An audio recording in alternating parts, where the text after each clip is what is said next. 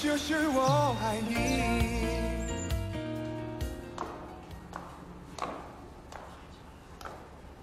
火，你还好吗？我很想见你。哟，你就是我哥新认的小琪儿吧？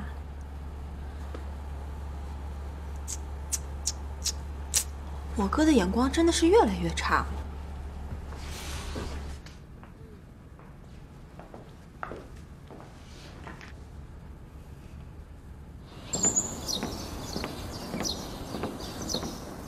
丫丫，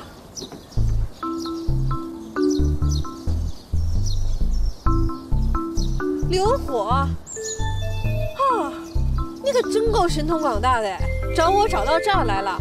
我告诉你啊，本姑娘不跟你玩了，玩也玩不出名堂。我不想再跟你有任何的联系了，请你不要再来打扰我、骚扰我，好吗？谁骚扰你啊？你搞清楚，我住这，我是这里的业主。业主啊？你？对啊。我真是够倒霉的，我怎么越不想看见什么，我就越看见什么呀？我怎么在哪都躲不掉你啊？你躲我干什么？我正想打电话给你呢。遇到你最好了，走吧，跟我走一趟。去哪？我不去，我要上班。上什么班呢？我是业主，听我的。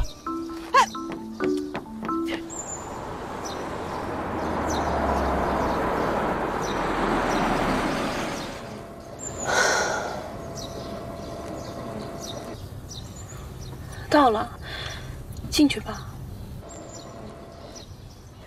你不都已经决定了吗？我没有想着跟毛丫丫分手，是你逼我跟她分手的。是你说他哥不同意你们在一起，他家里人瞧不起你的。是。可是如果没有喝醉酒，跟你发生了不该发生的，也不可能造成现在这样的混乱。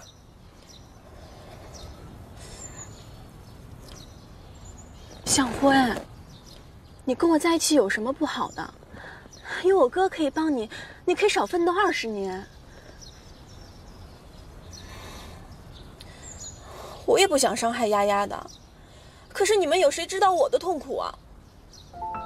向辉，你为什么喜欢丫丫？你不喜欢我？明明是我先向你告的白。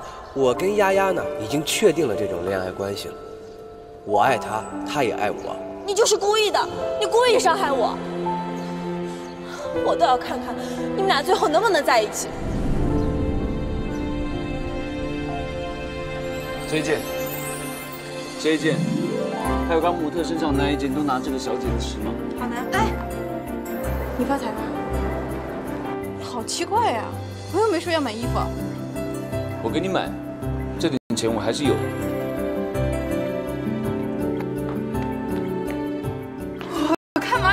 买衣服啊，我又不是没钱。小姐，要不要进去里面试一下衣服啊？我不是，我根本就没有打算要。我要，直接包起来吧。好的。啊，给我杯咖啡。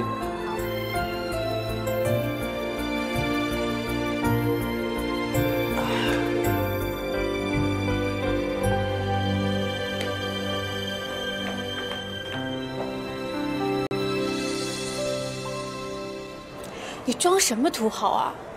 假不假呀？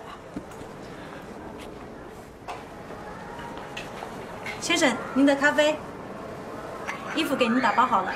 谢谢，放着吧。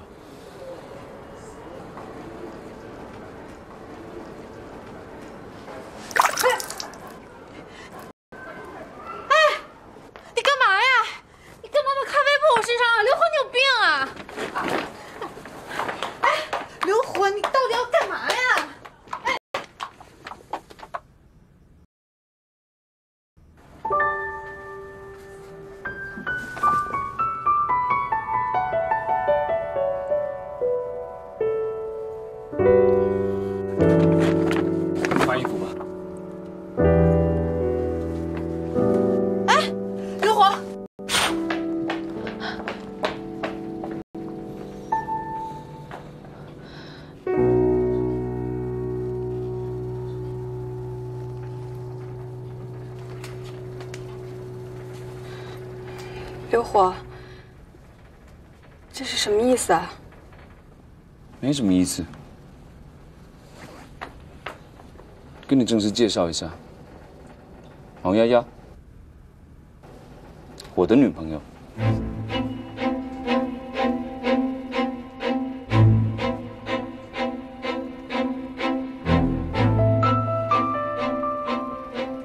我是不会相信的。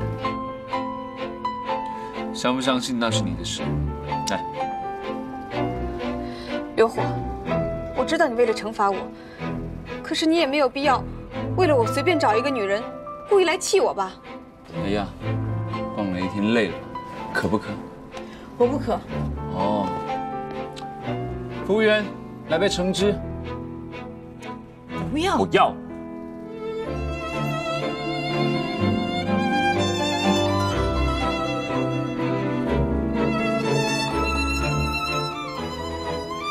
刘火，别在我面前演戏了。我说过，我是不会相信的。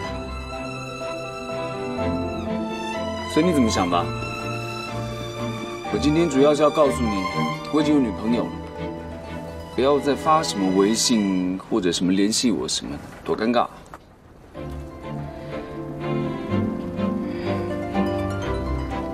刘火，别这样好吗？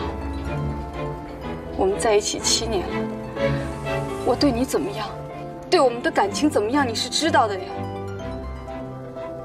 我知道我犯了不可饶恕的错误，我已经知道错了。我这样做，我也是为了为了我啊？不是吧？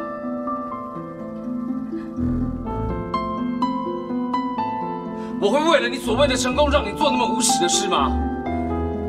你做的一切都是为了你自己的野心吧？是，我承认我有野心。不管我做过什么，还是我做错了什么，可是我对你的爱从来都没有变过。够了，够了，够了，够了！何雨琪，别说那些没有用的，我们回不去了。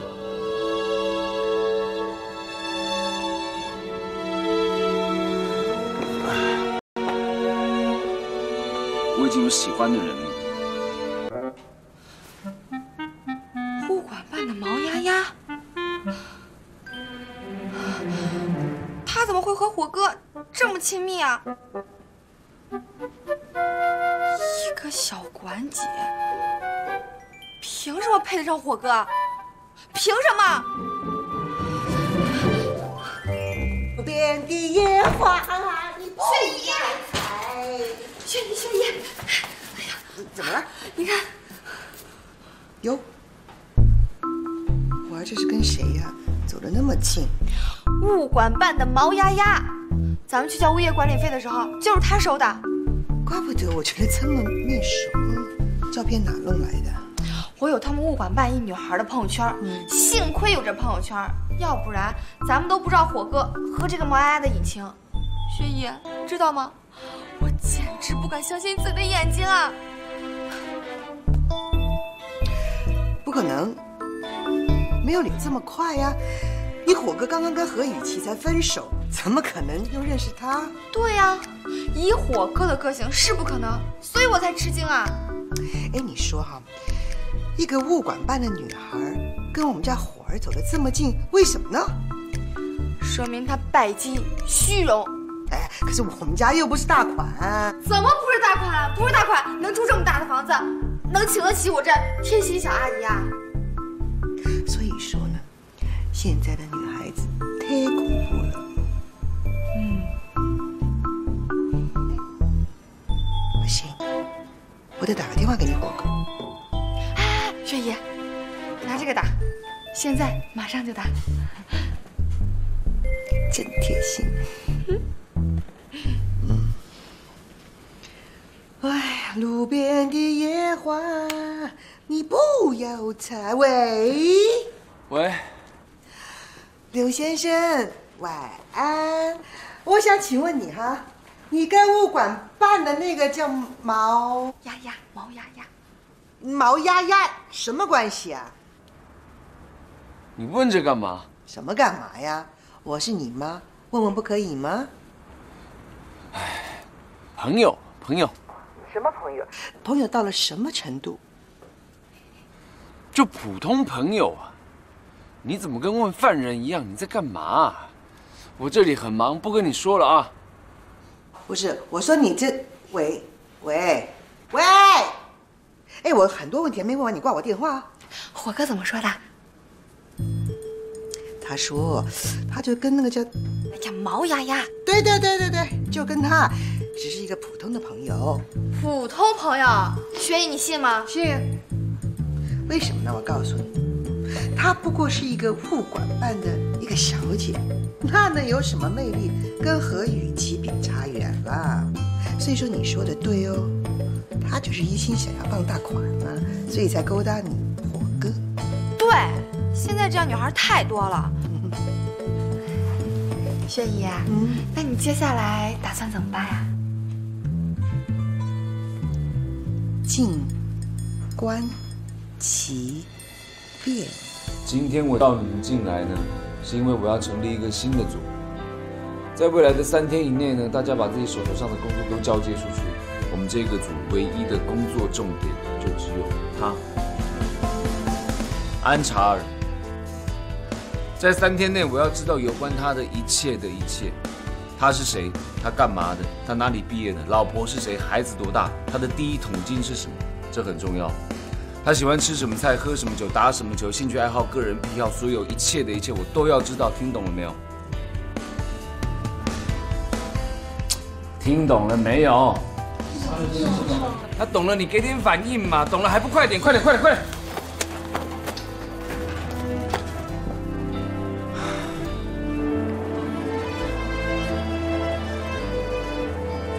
刘火，借钱。哎。你连句问候语都没有，你就直接说要借钱呐？你要借钱干嘛？做什么？你别管我干什么，反正我也有钱呢，我就还给你。打欠条也好，签字花也好，反正我有急用。哦，好啊，我借给你。借多少？等一下啊，我算一下。六万减去三万，三万，那个。三万，三万六千四百五十五。啊，什么东西啊？你借钱还有零有整的。好，我借给你。一言为定。嗯。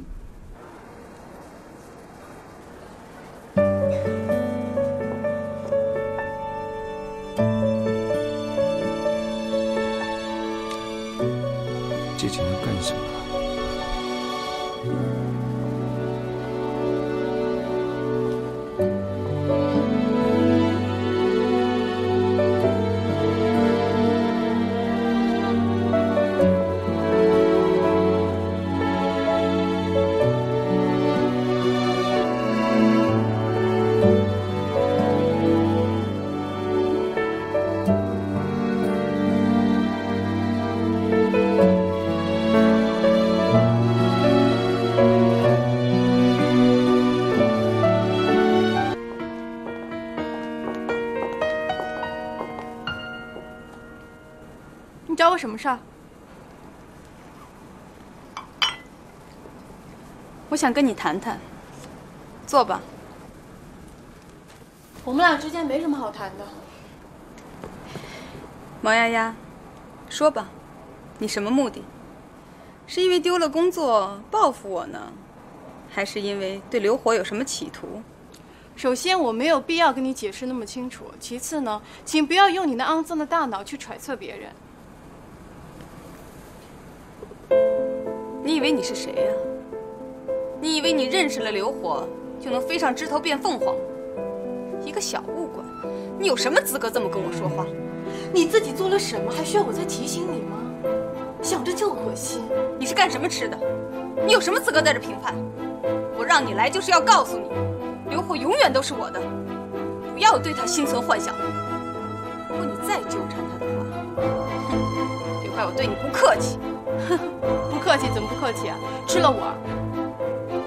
哎，你要搞清楚到底是谁缠着谁啊？霍雨晴，你跟刘火已经分手了，我跟他有没有关系都跟你没关系。你说话太放肆了。不好意思，我呢是辛辛苦苦靠上班赚钱养家的，跟你这种傍大款的不一样，没有功夫陪你在这闲聊。失陪。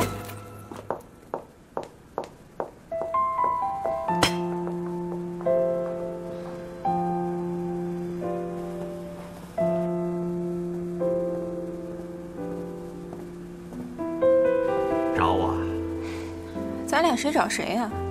几十个电话跟催命似的。知道你急着用钱，就这么多了，别再讹我了。怎么能叫讹呢？要不是我制造机会把向辉灌醉了，又在酒店开好房间，你们俩能在一起吗？你干什么你？我可警告你，你要是敢把这件事情说出去，我绝不饶你。咱们俩现在是一根绳上的蚂蚱，飞不了你，跑不了我。你是想跟向辉好，我是想让我妹妹跟向辉散，这是双赢。再者说了，这个已经初见成效了，我把这事说出去，对我有什么好处？你知道就好，以后别给我打电话了，咱俩走这么近，没好处。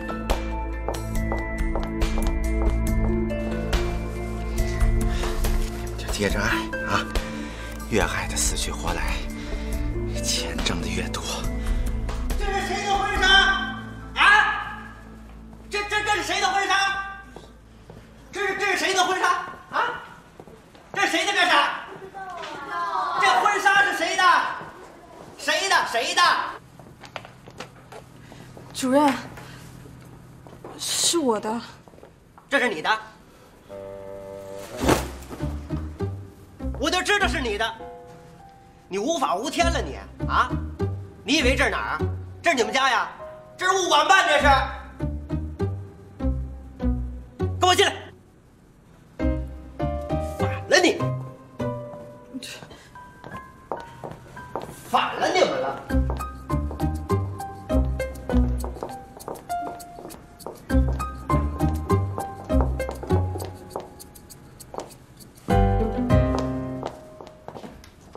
说说吧。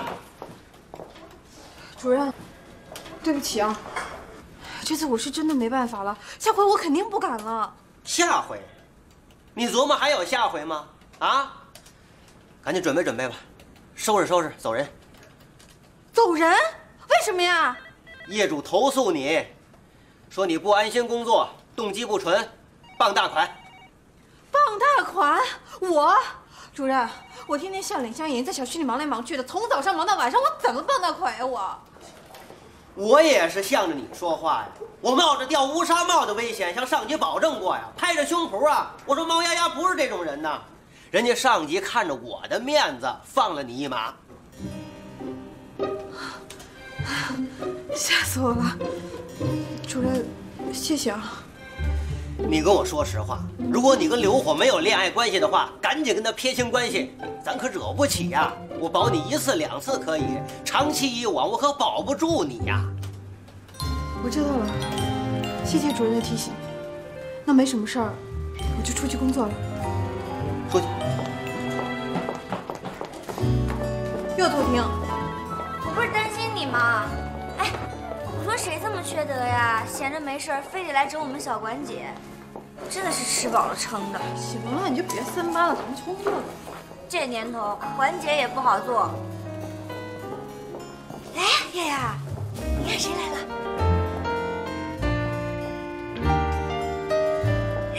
真是说曹操，曹操到。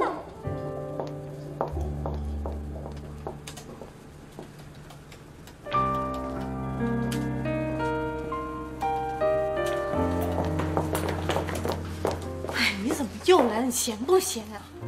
哎，你这里是物管办的，就这么迎接业主的？先别说这个，你赶紧走吧。你知不知道你给我惹了多大的麻烦？现在有人举报我傍大款，而且我差点因为你丢了工作。你赶紧走吧。谁呀？无不无聊啊？你小声一点。写这种信的人当然是匿名的啦，谁那么傻？那你解释没有？你肯定没有解释，对不对？我去找李小宝说。哎，等一下，等一下，你真是够了！你是业主，你是未来的青年企业家，你当然是理直气壮了。我是谁啊？你有考虑过我的感受吗？我就一小款姐，我要不是寄人篱下拿了人家一点工资，我才不想忍气吞声呢，我才不想受人冤枉呢。但你别忘了，这一切的来源都是因为你，要不然我早就是酒店的大堂经理了。我求你了，放我一马，不要再让我二度失业，行吗？你记住，柿子都是捡软的捏。今天我就要纠正他们的说法。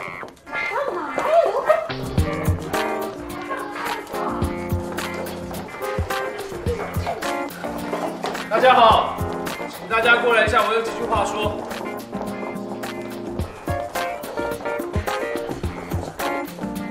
今天我来是想告诉大家，请你们以后多照顾丫丫，不要排挤他。哦，对了，我忘了自我介绍，我叫刘火，是丫丫的男朋友。男朋友，男朋友。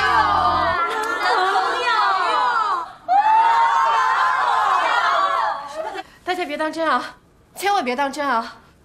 他今天忘记吃药了，他脑子有病，脑子有病。是，我有病，我的病就是无法自拔的爱上了你。而你毛丫丫就是治我的药。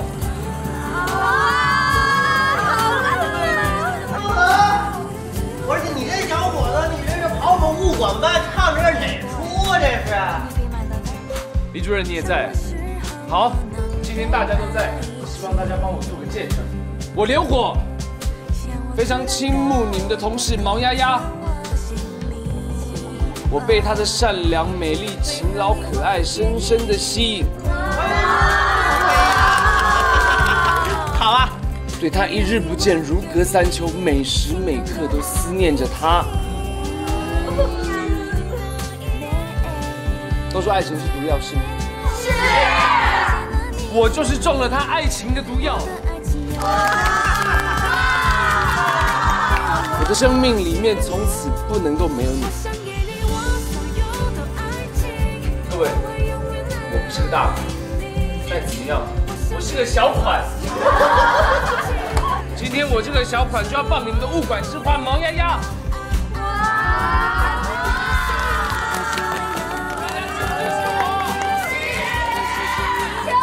哎呀，小伙这太感动了，感动的我都落泪了。哎呀，这是人间有真爱呀！让我们为这位敢于追求真爱的男子点赞。交换，交换，交换，交换，交换，交换，交换。